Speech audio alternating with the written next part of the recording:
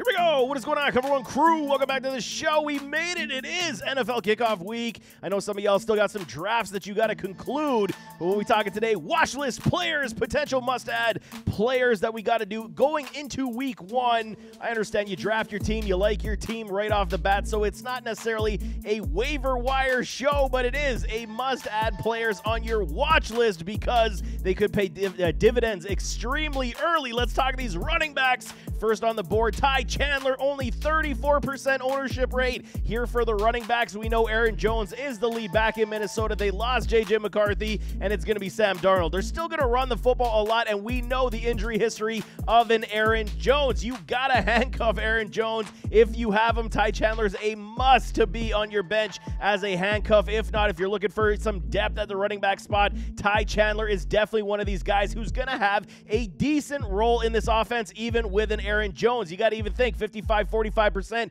on the splits in the run game is absolutely here. Ty Chandler needs to be on that watch list, if not owned at this point immediately. J.K. Dobbins, 46% ownership rate right now. How is this LA Chargers offense going to move? I understand everybody's fading basically all Charger players at this point outside of somebody like a Ladd McConkey, but I get it.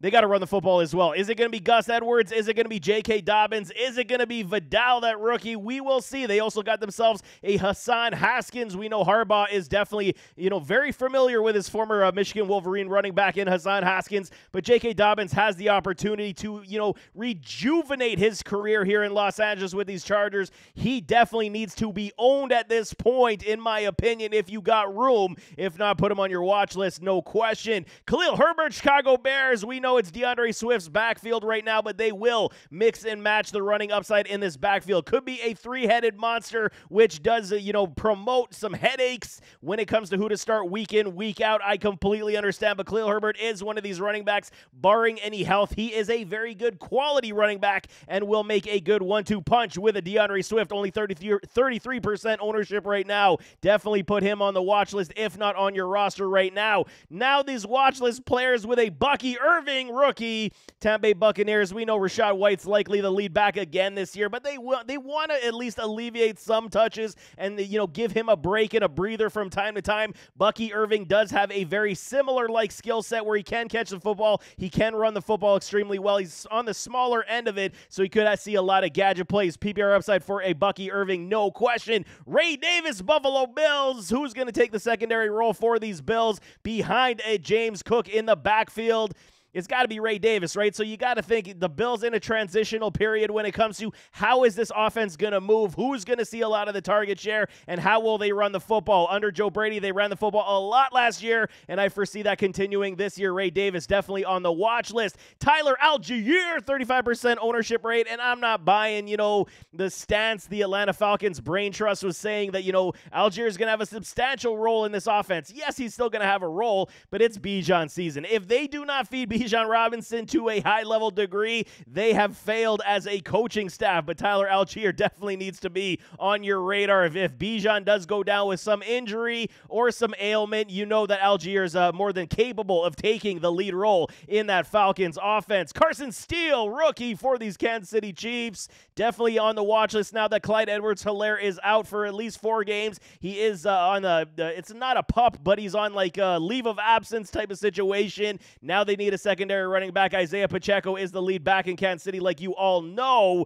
But Carson Steele, definitely somebody you got to keep tabs on as he doesn't look terrible out there on the field. But we could see, you know, maybe some sprinkles from here and there. I still think the Chiefs are going to be very much pass happy. Vidal, like I said, another rookie running back. These rookies are definitely filling in this roster for these Chargers. They're going to try to at least, you know, we'll see. I think they're going to try to figure out who's going to be the lead back. Gus Edwards will likely get the first uh, kick at the can. But will he? Can he be? I mean, outside of Baltimore's offense, be a lead back in this league? I got my question marks. That's why I'm leaning a little bit to more, little bit more toward a J.K. Dobbins. But again, injury history to a J.K. Dobbins. Vidal is a good running back, can do both in the pass game and in the run game. So definitely one to watch. And just for shit and giggles, S and giggles, Dalvin Cook, man, I almost swore there. But Dalvin Cook with those Dallas Cowboys, 13% owner ownership rate right now, got put on the practice squad. We'll see, man. Dallas needs a run game in a very big way. What is Dalvin, 29 years of age? basically hanging on to the strings of his NFL career, and the Cowboys gave him one more opportunity. And I mean, if you got room in deeper leagues, absolutely keep him if or put him on your roster. If not, he is definitely on the watch list just in case. But I mean, he might be some fab dollars if he does get on and crack that roster and start running the football. We'll see about Dalvin Cook. Quarterbacks, man, Deshaun Watson. I understand everybody's fading these Cleveland Brownies right now. And it's interesting because the offense isn't terrible. Deshaun Watson did showcase the fact that he can play uh, high end football. And they've added some more weapons to this offense with Jerry Jeudy. You know, Nick Chubb still dealing with that injury. But Jerome Ford showcased the fact that he can run the football extremely well. 34% for Deshaun Watson seems a little low for me. So if you're in super flex leagues, especially, he's definitely one you got to look to. He's probably on somebody's roster anyway in super flex, but in single flex league or single quarterback leagues, excuse me, I think that, you know, you got to put him on the watch list, especially if you d- waited to draft your quarterback. There is opportunity that Watson could be a high earner for you in this offense this season. Baker Mayfield, Big Show. After the season he did produce last year, 43% ownership rate only. There still is trust issues, and I understand. I'm with you as well. You would rather get the top end quarterbacks over a Baker Mayfield. He will be a great matchup, by week filler, highly likely this season. But the way that they played football last year and moved the ball in this offense, Baker should have another repeat season that he did have last season. Geno Smith in this offense in Seattle. Could this be the final year for Geno? We'll see a different changeover at the coaching staff. No more Pete Carroll. We'll see how they do operate in Seattle. Could be, you know, a mix and match. Again, they got three talented wide receivers and DK Metcalf, Jackson Smith-Njigba, Tyler Lockett, and they're still going to run the football a lot with a Kenneth Walker the third and potentially Zach Charbonnet. Charbonnet, he will have a uh, extended role this year as well. But Geno Smith, in matchup play absolutely does have a good heaping of points. Russell Wilson, Justin Fields grace my list of watch players.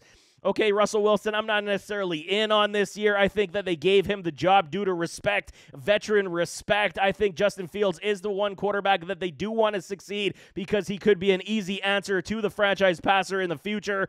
But I think this is a good opportunity for Justin Fields to sit back, learn a little bit in game stuff from a Russell Wilson, who is a seasoned vet, but he's on the back nine of his career. Sooner rather than later, I do believe that a Justin Fields will take over the reins in Pittsburgh. So they're both on my watch list at this point if you're in dire need of a quarterback. Drake Maye, final one on my quarterbacks, is the rookie. He is sitting, he is waiting. It didn't, you know, promote anything positive for these New England Patriots to start this rookie this season. Not as many weapons, piss poor offensive line. Defense is going to struggle. Why would you submit your rookie passer to that to break his confidence? I understand the move, but Drake Maye definitely showcase the fact he can throw the football in preseason. Yes, it is preseason, but he definitely is one of these guys we got to keep tabs on as the season does move forward. Wide receivers, uh, Dontayvion Wicks 29% ownership rate. Yes, it is low, and he's got so much upside, but the 29% is definitely warranted because there's so many mouths to feed here in Green Bay. Romeo Doubs, Jayden Reed, we got Christian Watson if he stays healthy. So that's the biggest thing, man. If Watson goes down again with an injury, or say if a Reed goes down for any uh, stretch of time, Dontayvion Wicks is going to insert himself instantly into this offense once again as he showcased he can be a relied upon trusted source, and he's got the backing from his quarterback, Jordan Love. Wicks definitely needs to be on your roster today. I would want to say on your bench, at least as that bench stash. If not, I get you put him on the wait list, but he will not be there for long if an injury does go down. Jerry Jeudy, 43% ownership rate. Everybody fading Jeudy, and I completely understand. I am too. But I do like the potential in this offense with an Amari Cooper. That could be a nice one two punch, and then adding somebody like David Njoku. This could be a decent offense moving the football through the air. Jerry Jeudy definitely could have a big rebound, but I mean, I get it. He drops passes, injuries. His career just didn't go the way we had anticipated in Denver. Maybe a change of scenery will do him that much better here in Cleveland. Jerry Jeudy, definitely a high end watch list player. Adam Thielen, okay, he's on the back nine of his career, and I'm not necessarily in unless you absolutely absolutely require PPR upside and a flex opportunity. I mean, he's probably got the best chemistry on this offense with a Bryce Young, and Bryce did look good in the offseason. We'll see if it can translate into in season contests. But I mean, PPR upside for an Adam Thielen should be there, but I understand the notion that, you know, Diontae Johnson is going to take a lot of the pass work away from an Adam Thielen, so they want to do that transitional period. There could be the first six weeks where we still see Adam Thielen relevant, and then it could drop off. So he might be a short lived watch player if you require another PPR wide receiver. Gabe Davis, 31% ownership leadership or 37% ownership. That is interesting to me because, yes, okay, he is a definite boomer bust category right now. We see guys like Brian Thomas, the rookie. He's in like the 80 percentile of ownership right now. So everyone's banking on the fact that rookie Brian Thomas is going to outplay early on and often and not allow Gabe Davis to see the field. I think they brought in Gabe Davis to give a different, you know, dynamic to this offense. You still got Christian Kirk, you got Evan Engram, but you required some supportive pieces. And we've seen what Gabe can do. He's an 800 plus plus yard uh, wide receiver, eight touchdowns in this league. Yes, his hands did foil him, fail him as he did uh, go down the season with the Bills last year. So we'll see. It definitely is a boomer bust, but he could be an absolute gem waiver wire pickup as we move down. Andrei Iosivas from the Cincinnati Bengals. We all the drama surrounding a Ja'Marr Chase. Okay, he hasn't done much this offseason. They're saying he's going to play. They're very close to a contract extension, apparently.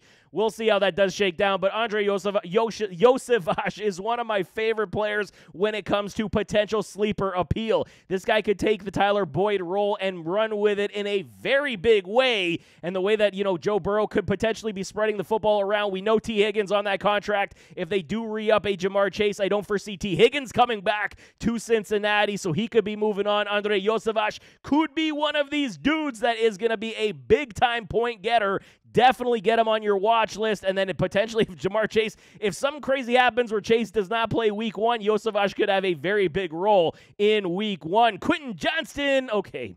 Uh, you guys know, if you watch my videos, you watch his scouting report I did when he came out as a rookie. I was not sold. He's got athletic ability for days. He's got lots of speed. He's got lots of ability. His hands have been the problem. They continue to be the problem, but somebody's got to catch passes from a Justin Herbert. So 8% ownership rate is definitely ind- uh, indicative of why people are not, you know, uh, uh, you know, happy and, uh, you know, thinking that he could be somebody special this year. I'm with you as well. So keep him on the waiver wire at this point. Definitely just put that star beside his name as a potential watch list player. Noah Brown, Washington Commanders now, the commies. Houston has too many weapons, so they allowed Noah Brown to find uh, different pastures and okay, you know, letting John Dotson go from Washington to Philadelphia in that trade this offseason. Noah Brown has an opportunity to play beside a scary Terry McLaurin and Dyami Brown to give them a leg up. Noah Brown, it, he showcased the fact with a good quarterback play with CJ Stroud last year that he could be trusted and relied upon. I don't hate the watch list. Will not own him right now, but definitely put him on the watch list. He could be a very big gem moving forward. Jalen Tolbert, Dallas Cowboys. Just like Ja'Marr Chase, the all the offseason issues with a contract with a CeeDee Lamb. Now Jalen Tolbert, we know, taking over the role from a Michael Gallup. And I've always been a Jalen uh, Tolbert supporter. I think he's got a lot of ability. Was a little bit raw, needed to refine some of his, uh, you know, traits and characteristics in his game. He's got great opportunity right now. Brandin Cooks dealing with another injury. If he goes down, you know he's going to be the secondary wide receiver here in this offense in Dallas, and they will have to pass the football a lot here in Dallas once again. So Prescott without a big running game. I don't think they're going to run the football very well in Dallas this year. Jalen Tolbert is definitely one that is being massively slept on right now and could produce, overproduce where he sits right now. Jahan Dotson, I get it. 18% ownership rate getting traded to these Eagles with Saquon, with A.J. Brown, grown ass man. You know, Smitty, we got, you know, Goedert. You got so many weapons on this offense, and they still will be very much run heavy. They are saying that Jahan should be a, uh, you know, have a sizable role in this offense, especially early on. I could definitely see it. These Eagles have been dying for that third secondary wide receiver in this offense to alleviate pressure and make some plays. Somebody with sure hands, somebody with some speed, and somebody with some route run ability. Deshaun uh, uh, Jahan Dotson, excuse me, is definitely one of these guys. So he is not only a bench stash player for me today, definitely add him on the watch list. Xavier Legette, rookie, we'll see. I upside is massive for this man. Deebo type of wide receiver, very much put together like a running back. Good hands. He can get up for that football and he can bulldoze over with some speed as well. I do like Xavier Legette, but it's all determined on the fact of what is Bryce Young going to be this year. So Legette on my watch list at this point. Darnell Mooney been preaching him up all off season long.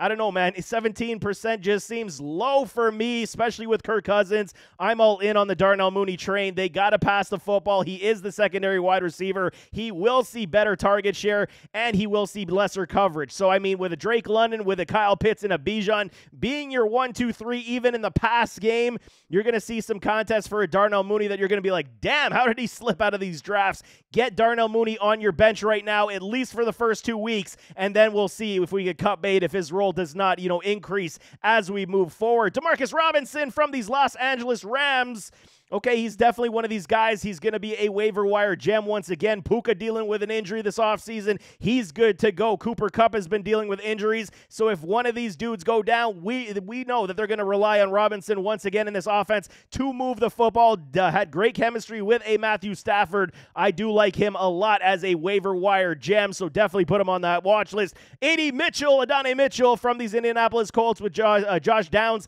dealing with an injury. He may suit up this week as well. I do like the ability of Mitchell. The only issue I got his his ownership rate would have been way higher had he been playing with somebody like a Josh Allen or something like that. But I mean, we're still waiting for, you know, uh, Anthony Richardson to showcase the fact that he can be this quarterback that can, uh, you know, spread the football around to all of his wide receivers. We saw the struggles with the misreads, the interceptions this preseason, but AD Mitchell definitely is one of these guys. Could be a massive high riser as we get to like week six, seven, and eight. He's definitely one you got to put on your list, man. Jalen McMillan, 5% ownership. Tampa Bay Buccaneers, again, looking for that third wide receiver, similarly to those, uh, you know, Philadelphia Eagles with uh, Jahan Dotson. McMillan is one of these guys, one of my favorite players coming out of this draft. I just love his game. I think that he could be such a fantastic dynamo in the slot in the NFL. We'll see how the Bucks use him, but he's definitely one you got to put on your list. A.T. Perry Someone's got to catch the secondary passes in New Orleans. I understand it. It is Rashid Shaheed with the wheels. He will have his contest as well, but you need that Michael Thomas type of wide receiver. Make the catches, you know, get the third down conversions, get some red zone opportunity. A.T. Perry is definitely one of these guys for me. He could be a big time getter this year as well. And then finish off with Ja'Lynn Polk. Just on the watch list, not really running to it right now because of Jacoby Brissett. We'll see how it does shake down with a Drake Maye, but those New England Patriots could have put up a lot of garbage time productivity. So definitely watch out for that. Finishing it off with tight ends, Cole Kmet. Yes, I understand he's well over the 50% threshold. He's at 62%, but if you're looking for a tight end, Kmet's still there. I think it's a very good get because Caleb Williams is going to have to look for that safety blanket. Yes, they got wide receivers for days. DJ Moore, Keenan Allen could be those safety blanket type of wide receivers as well. But Cole Kmet's a, you know, red zone opportunity potential on the play action pass is definitely here. I do like him a lot this year. Excuse me, with a Caleb Williams. Jonnu Smith in the Miami Dolphins. Very much an interesting tight end prospect or uh, uh, player this year because he goes to these Miami Dolphins. Tua Tagovailoa, we understand he could at least move the football a lot to this wide receiver room, and they're looking for somebody to take the pressure off of Odell Beckham and a Jalen Waddle. Waddle time, we know that Waddle's dealing with an injury. Tyreek's dealing with a thumb. We know Odell Beckham is uh, out for four games on the pop, so Jonnu's role could be very big these first four weeks. There is no question. Looking for high upside tight ends in an offense that can move the football. Jonnu Smith, absolutely, man. Sign me up. Ben Sinnott rookie tight end. Okay, outside of the top dogs at rookie tight ends, I do love me some Benson, especially in this offense with the commies. Yes, he's got Zach Ertz to deal with, so we'll see. Keep him on the watch list. Do not pick him up at this point. It is, uh, you know, just to see how his role could potentially be. Will Zach Ertz be that tight end of old that we know, or is he kind of on the back nine of his career as well, dealing with injuries, severe injuries as well? So I do believe that Benson at some point will overtake a Zach Ertz, but that's just speculation as we sit today. Cade Otton, okay okay, with all the wide receivers, it's going to be a tug of war basically between a McMillan, Palmer, and a Cade Otton. Otton will have his games from time to time, but you're likely in that 25% boom rate type of range for him, so it's definitely matchup play only for a Cade Otton. Parkinson, Los Angeles Rams, we know Tyler Higbee's out for four games on that pup list. Parkinson is one of these guys that's a very intriguing tight end that we should all be looking to. I get it. Starting him week one is going to be very tricky, and if you got the kahuna Valanciunas to do it, I definitely applaud you.